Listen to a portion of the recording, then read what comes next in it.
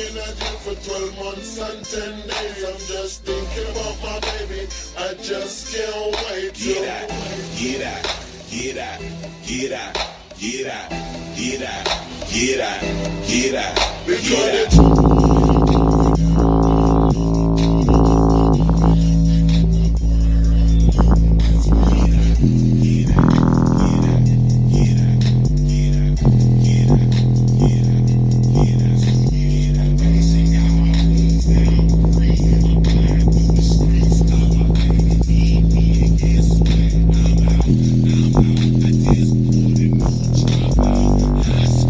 Thank you.